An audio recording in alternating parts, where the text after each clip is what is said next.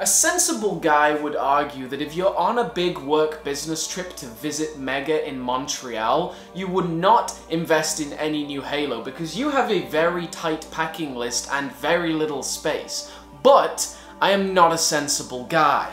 I managed to score something really exceptional, and I think you'll probably know from the title of the thumbnail. Uh, let's try and allude to it a little bit anyway, and the backstory on this is pretty weird and interesting. So I'm currently in my beautiful hotel room and Mega have done just an amazing job putting me up so far. But I knew where I was going to be staying for quite a while now, and Amazon Day was last week. Now, Amazon Day is a shopping event. I don't really like to, you know, advertise investing in Amazon, though I do like to share a lot of links because it's one of the only ways you can get a lot of the new sets. But Amazon Day Canada had the best deal of all on the new ODST Wombat Overwatch. This guy I managed to actually score from a Canadian Toys R Us. It's an amazing set and we'll delve into the actual packaging and open one up in a minute. And I just want to mention up front, I'm not keeping these sets. They're to be redistributed to people in the UK and maybe a couple of other places. Amazon Day Canada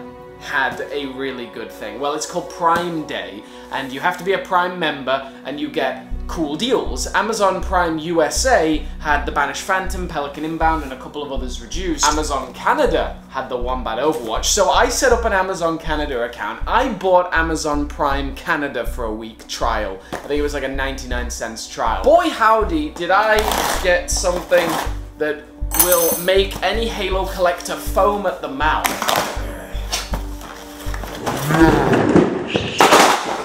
Ah, I mean, yeah, I knew that was gonna hurt. One, two, three, four, five, six, seven, eight, nine, ten. Ten ODST Bucks. Absolutely beautiful. It's probably a good thumbnail, isn't it? 10 mega logos. 10 beautiful box arts. Let's break some open, shall we? ODST Wombat Overwatch. How good it is to finally have this in my hand. I also want to mention all of these products are being sold to collectors in the UK. They're to be redistributed. I'm certainly not hoarding anything. Oh, just Ah, just look at that. I love all the attention to detail here. This nice ODST drop pod logo is present throughout the packaging. The actual original render from Halo 3 ODST of ODST Buck with Halo Universe. The whole thing screams out to you. It is a joy to look at. Mega have explained to me before, like the new packaging is about popping out what is available in the set. Like you know what you're buying the second you look at this. And I think that is spot on. And yeah, people have complained about, uh, you know, know, the lack of a photorealistic background. I think it does make it more clear what you're buying, and they've still included it, which they really didn't need to do, so I think that's a beautiful touch, and I need HD renders of all these, please. And look at that nice little packaging design. So we've had the Wombat once before, and I'm gonna do a full review one day. I'm not building it today, I'm just gonna show you what's in the packaging. Just gonna tear this open. Sustainable packaging, all cardboard there.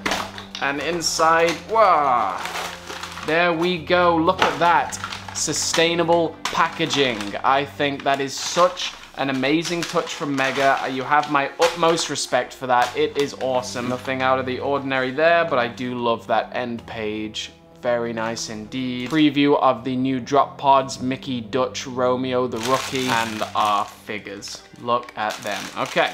We're gonna have to break that open. We're gonna have to check out these because now we have a macro lens so we can really do it. Oh, look at this data pad. Wow, look at that. Very cool. Little drone data pad. And here is our ODST Buck. I love how it's very different from the original Buck. Like it definitely stands on its own and it's crazy this is just the second Buck we've ever got. The first one with Halo Hero Series 1. Like it's been so long since we've got a Buck. I'd love to see a little Nathan Fillion head one day. And there is our Brute as well. Oh my goodness. That is is magnificent. Comes with a plasma rifle and Buck with, of course, an assault rifle. Good to see the return of this like bright red sort of brute plasma rifle. We haven't got that in a while. Oh, my new macro lens is so good. You can see the Buck there. The UNSC symbols and his little combat knife.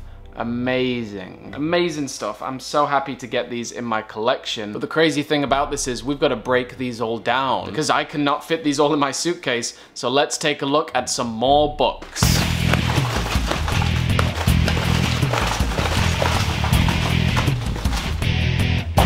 Oh baby.